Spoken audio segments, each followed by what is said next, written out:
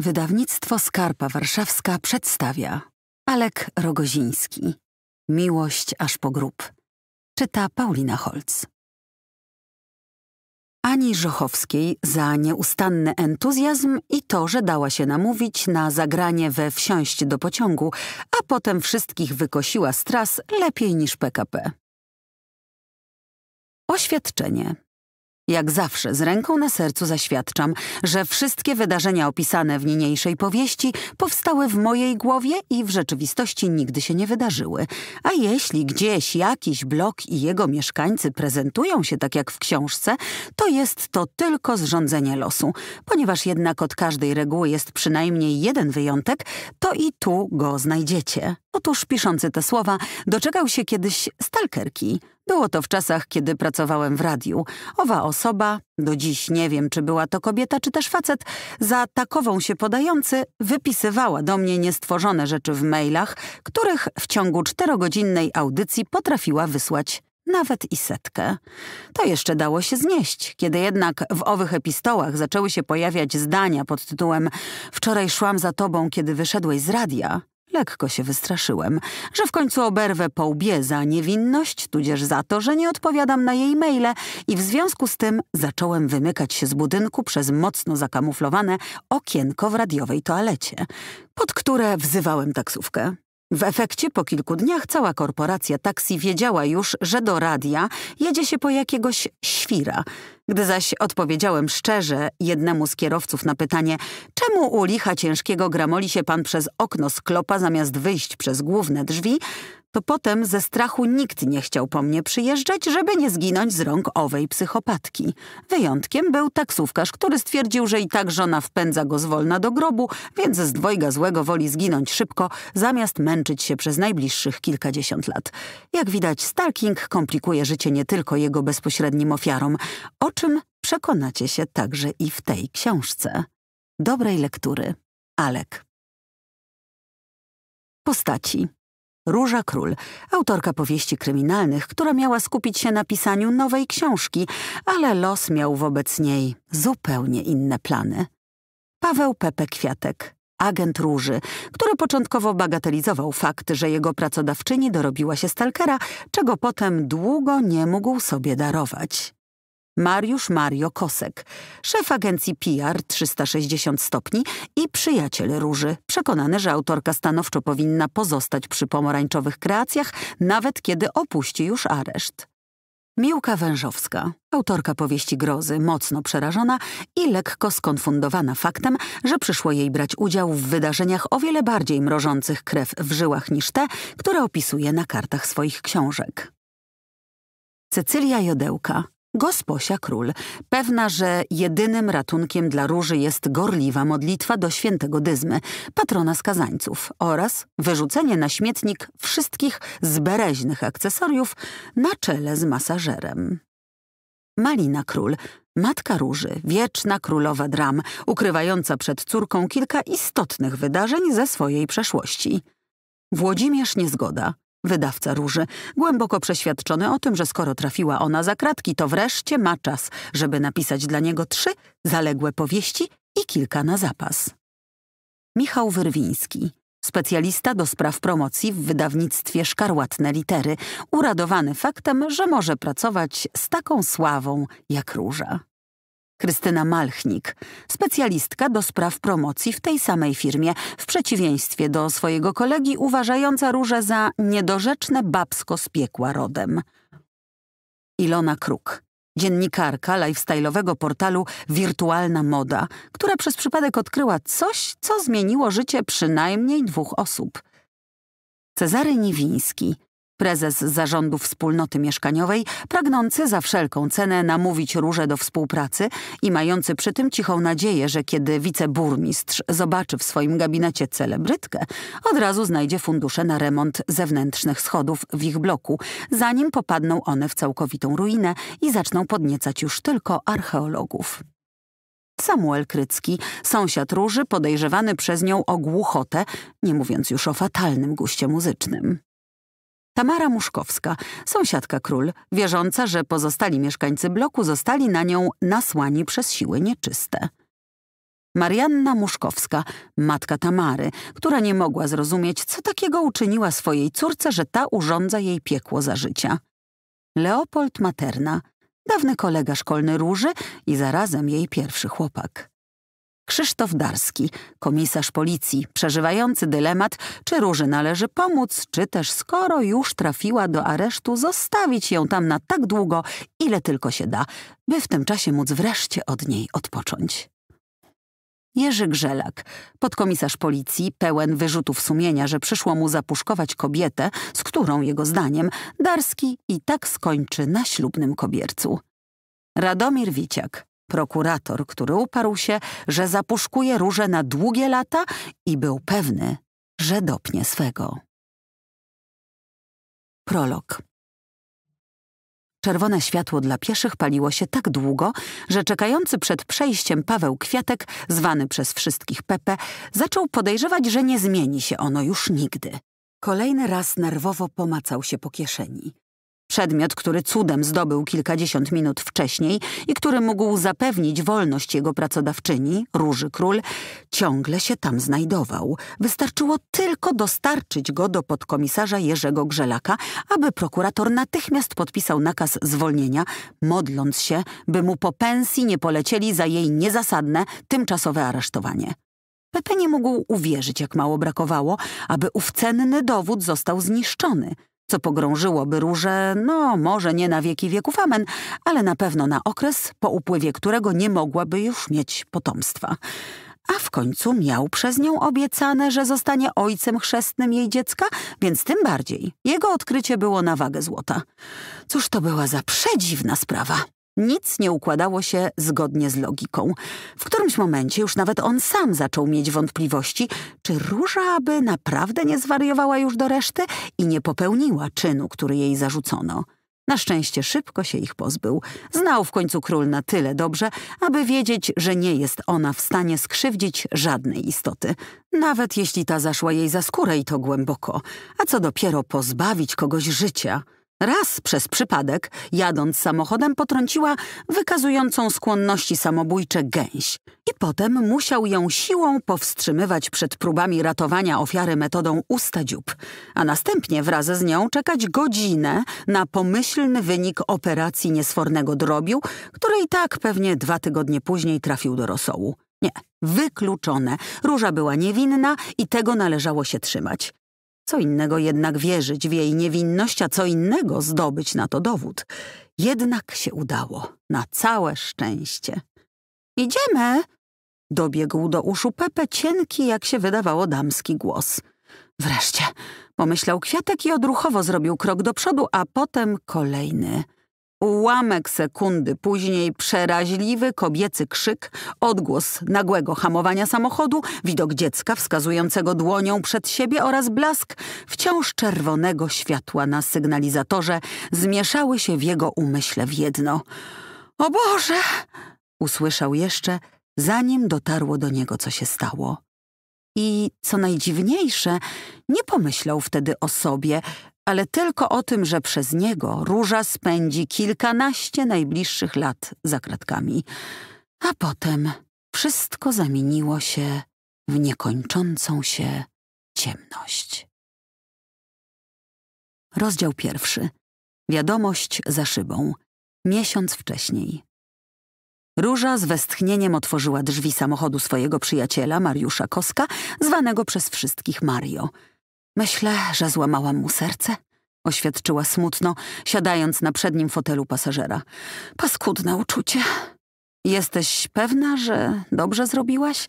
Zapytała cicho zajmująca miejsce z tyłu jej przyjaciółka, autorka powieści grozy Miłka Wężowska, rzucając okiem na znajdującą się na głównym skwerze miasteczka morderczo ławkę, na której z twarzą ukrytą w dłoniach siedział do niedawna jeszcze narzeczony król, policyjny lekarz patolog Piotr Kryński. Nie, Pokręciła głową róża. Ale z drugiej strony nie czuję do niego tego, co powinnam. Nie chcę dawać mu złudnej nadziei, że kiedykolwiek to poczuje. Ani też oszukiwać go, że wszystko jest w porządku. To byłoby zbyt okrutne i w końcu doprowadziło do katastrofy. Ale przecież cztery miesiące temu, zaczęła Miłka Jednak przyjaciółka nie pozwoliła jej dokończyć. Motyle w brzuchu, wyjaśniła smętnym tonem. Tyle, że one żyją bardzo krótko. Ważne jest to, co się stanie, kiedy ostatni z nich przestanie latać. Przez te cztery miesiące zdążyłam sobie uświadomić, że w naszym przypadku oznaczałoby to koniec przygody, więc lepiej zerwać teraz, niż kiedy musielibyśmy iść z tym do sądu. Zresztą, ach, sama już nie wiem. Ruszajmy, zadecydował Mario stanowczo. Robi się sentymentalnie i melodramatycznie jak na mnie. Zerwałaś to zerwałaś. Nie ma co się roztkliwiać. Zajmiesz się czymś innym, a on już jutro znajdzie sobie jakąś osiemnastkę na pociechę. No co? Zapytał, wyłapując w lusterku pełen potępienia wzrok wężowskiej. Młode laski lecą na doktorków, nawet tych od truposzy. Doktor to zawsze doktor. Ty to jednak nie masz taktu, westchnęła Miłka. Za grosz. Ani moralności, poparła ją Róża. Dla ciebie wszystko zawsze jest takie proste. Bo jest, wykrzyknął Mario. Tego kwiatu jest pół światu. Obie znajdziecie sobie jeszcze kogoś do łapania motyli i to nie raz. Trzeba tylko często próbować. Tak często jak ty. Róża popatrzyła na niego ironicznie. Jaki miałeś przerób w tym roku? Marny, westchnął Mario z wyraźnym żalem. Siedemnaście lasek, które zaciągnąłem do łóżka, dwóch facetów, którzy próbowali zaciągnąć do łóżka mnie, plus jeden element pośredni, bez łóżka. Element pośredni? Róża popatrzyła na niego pytająco. Na wakacjach w Tajlandii. Mario machnął ręką. A, szkoda gadać. Mam nauczkę na przyszłość, żeby nie pić więcej niż pięć drinków i nie mieszać. Nie wnikam, zapewniła Róża, po czym przez chwilę patrzyła na przesuwające się za oknami domy morderczego. Zawsze mnie to fascynowało, jak dużo się dzieje w takich pozornie spokojnych, a nawet sennych miasteczkach. Bo ludzie są wszędzie tacy sami rzekła Miłka. Ich mentalność, pasje, namiętności, sposób myślenia. Chętnie jeszcze trochę bym tu została, przyznała król. A ja się cieszę, że stąd wyjeżdżamy, oświadczył Pepe, odrywając wzrok od swojego smartfona. Tym bardziej, że mam dla ciebie całą listę zaproszeń na kolejne imprezy i spotkania z czytelnikami. Mam wrażenie, że dobrze ci teraz zrobią. Być może, rzekła w zamyśleniu Róża, rejestrując kątem oka, że coś przeszkadza jej w kontemplacji morderczych pejzaży. Mario skarbie, co ty masz za wycieraczką? Słucham? Kosek oderwał wzrok od drogi i popatrzył na wskazane przez król miejsce. Faktycznie, pewnie jakaś ulotka. Poczekaj, stanę i wyjmiemy. Po kilkunastu metrach zatrzymał się na przystanku dla autobusów, które przejeżdżały przez morderczo całe dwa razy na dobę. Pisarka otworzyła drzwi i wyciągnęła z za wycieraczki kartkę. Burdel czy usługi remontowe? Bo to mam najczęściej. Zaciekawił się Mario, po czym popatrzył ze zdumieniem na wytrzeszczającą oczy na kartkę różę. No co tak zamarłaś? Co tam jest? Liści się jako miednica, Upadł ci jej koniec nosa, z oczu płynie krwawa rosa. Odpowiedziała Róża, nie odrywając wzroku od trzymanego w dłoniach kawałka papieru. Zwariowałaś? Zdumiał się Mario. Cóż to takiego? O ile pamiętam ze szkoły, to fragment rozmowy mistrza Polikarpa ze śmiercią, wyjaśnił Pepe, ale mogę się mylić. Nie mylisz się, potwierdziła Miłka, która wpisała początek komunikatu przeczytanego przez Różę do wyszukiwarki w swoim telefonie, po czym popatrzyła na kwiatka z podziwem. Ale ty masz pamięć. To nie pamięć, przyznał niechętnie Pepe. Tylko zawsze przy tym fragmencie chciało mi się wymiotować, dlatego zapamiętałem. I co to niby jest? Nie mam pojęcia, rzekła oszołomiona Róża. Poczekajcie, tam na dole jest coś jeszcze. Był samochód, winda, cegłówka. Nie myśl, że to koniec, twój dawny wielbiciel. Co to oznacza? Zdumiał się Mario. Moje wypadki sprzed i po festiwalu opolskim, rzekła zdumiona Róża. Jakim cudem ktoś tu o nich wie? Może to dowcip tego gnoja, podsunął niepewnie Pepe, mając na myśli mordercę, którego przy ich ogromnym udziale ujęto w morderczym. Aresztowali go dwa dni temu, przypomniała Róża. Przez ten czas jeździliśmy do Torunia i jestem pewna, że tej kartki tu nie było. Powiem więcej, poparł ją Mario. Dzisiaj z rana przed śniadaniem myłem szybę i też na sto procent jej nie było. Czyli jaki wniosek? Że masz dawnego, cichego wielbiciela, rzekł Pepe. I że tym razem raczej nie traktowałbym tego pół żartem, pół serio i jak najszybciej przekazał tę kartkę Darskiemu. Proszę, żadnych więcej głupawych śledztw na własną rękę. Oczywiście masz rację. Król pokiwała głową.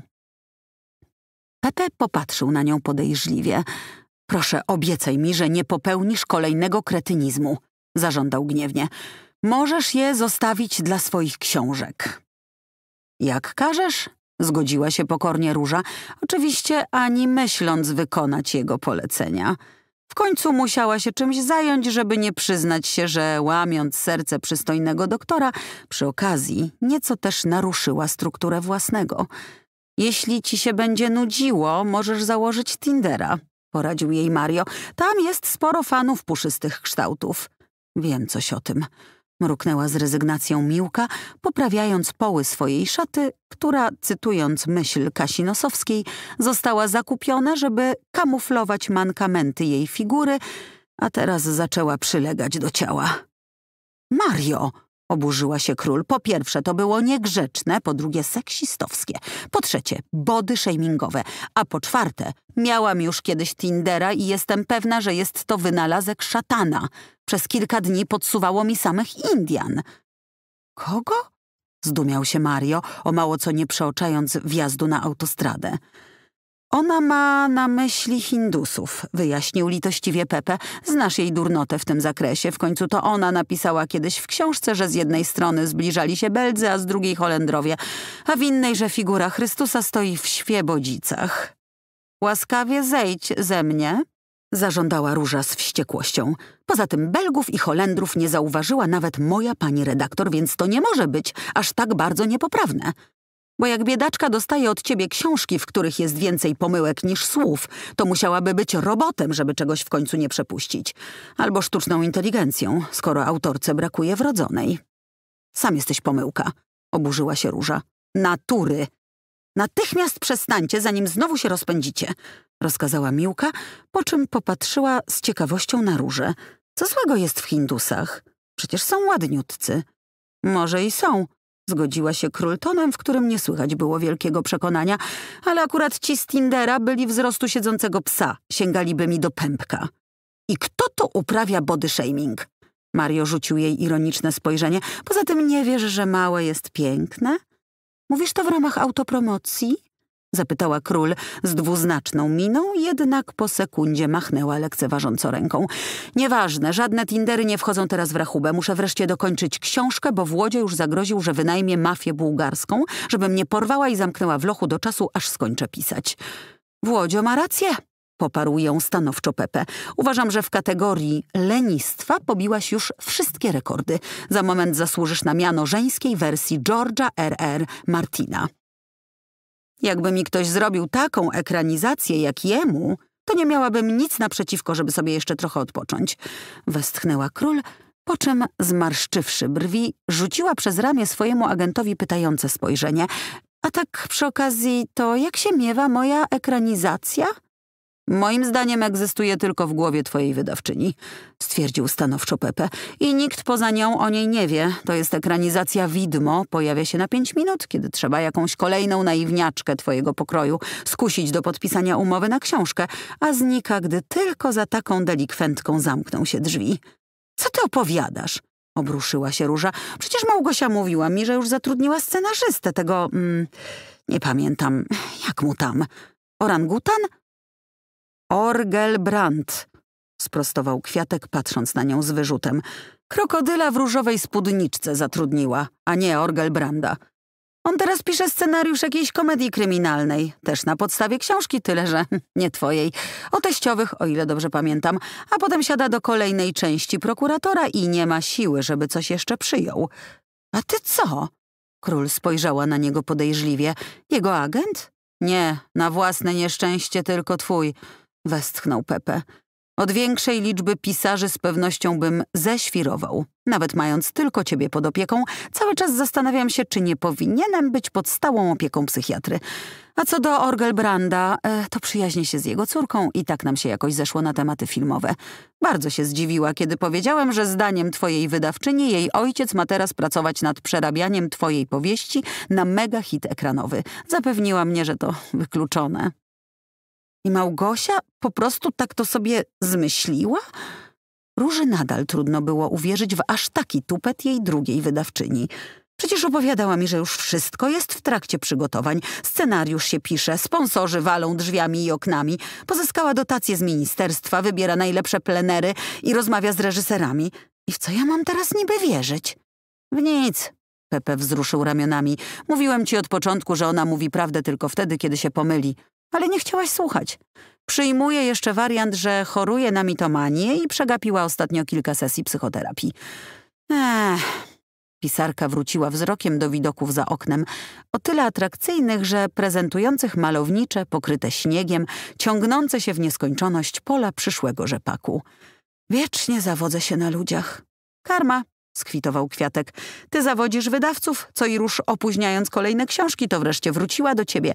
I teraz oni cię zawodzą, a przynajmniej jeden z nich. Jeśli to jakaś pociecha, wtrąciła Miłka, to też miałam obiecaną ekranizację wampirzego pocałunku i nawet zaczęli to kręcić, ale potem główny sponsor zbankrutował, zdjęcia przerwano i nic nie wskazuje na to, żeby ktokolwiek planował do nich wrócić. Ale może to i lepiej, bo do głównej roli zatrudnili tam aktorzynę, który sam wyglądał jak wampir i to bez charakteryzacji. U mnie w książce główny bohater był seksownym ciachem, a to to było jakieś blade, wymizerowane i z krzywym nosem. Wolałabym Macieja Musiała. Każdy by wolał, zgodziła się król. Ja nie, zaprotestował Mario. Bo ty nie lubisz żadnego faceta, który jest przystojniejszy od ciebie, mruknęła Miłka. Czyli dosłownie każdego, dodała szybko Róża. O, dzięki, wreszcie ja doczekałem się jakiegoś komplementu. Pepe zaśmiał się ironicznie, zanim Kosek zdążył zareagować, po czym popatrzył na wyjmującą coś z leżącej między nimi na tylnym siedzeniu potężnej torby, wężowską. Co to jest? Przygotowałam nam małą wałóweczkę na drogę, oznajmiła Miłka, wyciągając dość pokaźny pakunek zawinięty w srebrną folię. E, tylko muszę ją rozpakować. Małą, jęknął Kwiatek, z trudem otrząsając się z wrażenia, że jego przyjaciółka zwariowała i przewozi ze sobą pieczonego prosiaczka. Jest nas czworo, Miłka wzięła się do rozpakowywania przygotowanego prowiantu, a w dodatku Mario jest strasznie rozkapryszony. Nigdy nie wiadomo, czy coś zje. Nigdy nic, zapewnił stanowczo Kosek. Obecnie dumam, czy nie przerzucić się całkowicie na dietę płynną. Moja ciotka też przerzuciła się kiedyś na dietę płynną, skomentowała złośliwie Róża. I efekt był taki, że skasowała nowe Volvo wujka i musiała iść na odwyk, a do tego została oskarżona o obrazę policji. Po tym jak próbującego wylegitymować ją brodatego policjanta nazwała papą smerfem. Na szczęście sąd miał poczucie humoru i wlepił jej tylko dodatkowy miesiąc prac społecznych. Zastanawiam się, czy jest ktokolwiek w twojej rodzinie, kto nie stanął nigdy przed sądem mruknął Pepe. Owszem, prababcia, choć moim zdaniem otruła pradziadka. Tylko nikt jej na tym nie złapał. A poza tym pradziadek był antypatycznym furiatem, więc wszyscy odetchnęli z ulgą, kiedy poszedł do piekła. Komu bagieteczkę z calcesonikiem? Zapytała Miłka, jak zwykle przy okazji jedzenia zaczynając wszystko zdrabniać. Jest jeszcze druga ze schaboszczaczkiem. Mario raptownie przyhamował. Chcesz mnie nakarmić czy oślepić? Zapytał z wyrzutem Pepe, któremu wężowska przejechała jedną z kanapek tuż przed nosem. Bo on jeździ jak wariat, wytłumaczyła ze skruchą Miłka. Nie ja, tylko jakaś blondi przed nami, warknął wściekłym głosem Mario. Już trzeci raz zajeżdża mi drogę, dwa razy mrugnąłem jej długimi, jeszcze jeden i pokażę jej faka. Kobiecie? Zgorszyła się król. Wywalczyłyście sobie równouprawnienie, więc taryfa ulgowa nie obowiązuje. Złość Mario wcale nie mijała. Sama popatrz, co ona wyrabia. O mały włos, a wpieprzyłaby się pod tira. Mistrzyni kuźwa kierownicy. Gdyby nie to, że jesteś obok mnie, to miałbym podejrzenia, że to ty tam siedzisz za kółkiem. Ejże, fuknęła Róża. Nie jestem złym kierowcą. Nie, przyznał Kosek, nie jesteś. Nawet źli kierowcy wiedzą, że żółte światło oznacza, że trzeba zacząć hamować, a nie dociskać gaz i krzyczeć o Jezusiczku! Że podwójna ciągła nie została namalowana na drodze tylko po to, żeby ozdabiać asfalt, że pasy w samochodzie nie służą do ozdoby, a lustereczko jest po to, żeby kontrolować, co się dzieje za samochodem, a nie, czy ci się ładnie ułożyła grzywka. Więc Zdecydowanie nie jesteś złym kierowcą. Masz specjalną kategorię. No wiesz? Król aż zatchnęło z oburzenia. Kiedy niby ja to wszystko robię? Nawet i teraz, parsknął Mario. Że co? A gdzie niby masz pasy? Pisarka z niezadowoleniem sięgnęła za plecy. No właśnie, mruknął Kosek, dokładnie o tym mówię. To co? Miłka wróciła do swojego ulubionego tematu. Komu bagieteczkę?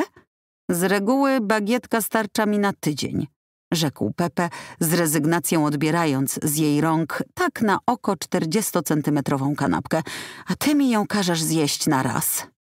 Po pierwsze, nic ci nie każę, zaprotestowała Wężowska, rozpakowując kolejne srebrzyste zawiniątko, a po drugie, to nawet nie jest cała bagietka, tylko ledwie połowa. Połowa, do której wsadziłaś miesięczne zapasy przeciętnej restauracji, orzekł Pepe, patrząc z równym podziwem, co zgrozą na zawartość trzymanej w ręku kanapki. Jedną twoją kanapką można wyżywić drużynę piłkarską. Co ty tu w ogóle dałaś? Widzę tonę masła, majonez, schabowego, smażony boczek, żółty ser, a to szare to niby co? Boczniak wyjaśniła Miłka z taką satysfakcją, jakby go sama wyhodowała. Smażony. Matko pańska. Westchnął kwiatek, nie odrywając wzroku od podanego mu pożywienia. Pomidor, ogórek, kapary, cebula, rzodkiewka. Nie przesadziłaś? Jesteś szefem kuchni. Miłka podała drugą kanapkę róży. Nie chciałam, żeby ci czegoś zabrakło. I dlatego zaserwowałaś w jednej kanapce cały asortyment supermarketu? Zdumiał się Pepe, mimowolnie z podziwem. A znasz zasadę, że mniej znaczy lepiej? Mhm. Róża od razu rozpoczęła konsumpcję swojej bagietki. I dlatego na jego fizy... Może przełknij, poradził Mario, zanim się udusisz, a co ważniejsze, nakruszysz mi na tapicerkę. Dopiero co posprzątałam auto. Król spełniła jego prośbę. Mówię, że w wydaniu Pepe mniej znaczy więcej przekłada się na pizzę cienką jak firanka z bździnką sera i dwoma plasterkami peperoni dla ozdoby. Przeciętnemu Włochowi w zupełności by to starczyło. Ale na kolacji z reguły miewasz nieprzeciętnych Polaków, a nie Włochów. Tyle ględzicie o tym jedzeniu, że już nawet i ja zgłodniałem, rzekł z niezadowoleniem Mario. Zróbmy sobie przerwę. Poza tym przypomniało mi się, że muszę kupić płyn do spryskiwacza.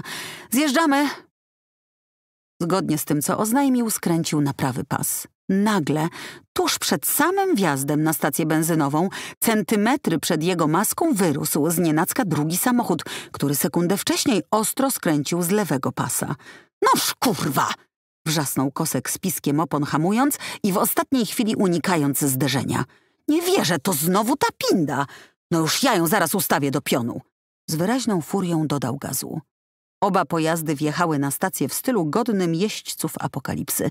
Kobieta, określona przez Mario mało pieszczotliwym mianem Pindy, skierowała się w stronę znajdującego się za dystrybutorami McDonalda, po czym zaparkowała tuż przy ogródku zabaw dla dzieci, tylko cudem przy okazji nie rozjeżdżając dwójki bawiących się tam berbeci.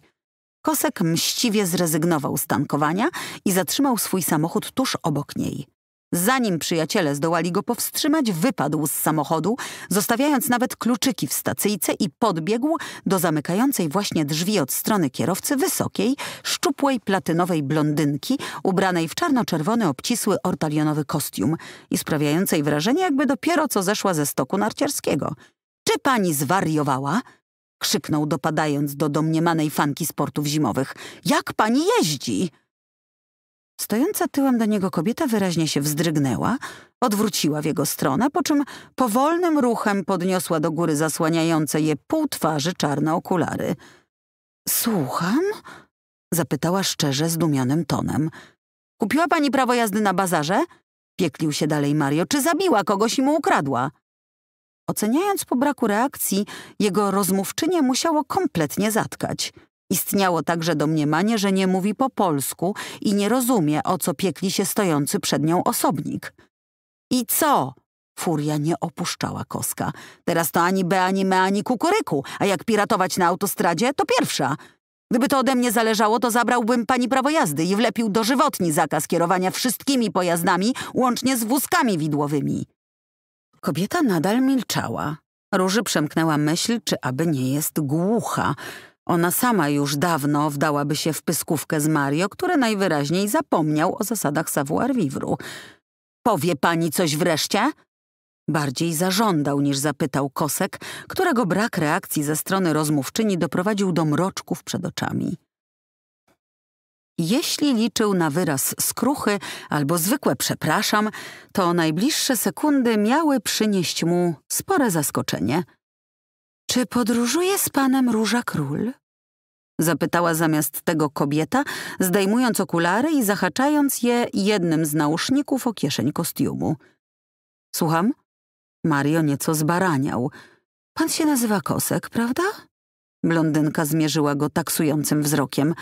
Marian, byliście razem w morderczo. Pytam, czy wracacie razem. Tak, potwierdził odruchowo Mario. To znaczy nie Marian, tylko Mariusz. Poza tym cudownie. Kobieta nacisnęła przycisk zamka centralnego, po czym bez słowa minęła najwyraźniej zamienionego w słup soli koska i podeszła do jego samochodu. Zajrzała najpierw przez tylną szybę. Konsumująca w spokoju ducha posiłek Miłka pomachała jej bagietką. Nieznajoma odmachała jej, obojętnym spojrzeniem przejechała po Pepe, po czym obeszła auto, aby na koniec stanąć obok przednich drzwi po stronie pasażera. Róża nacisnęła przycisk i szyba powoli zjechała do dołu. Pani król?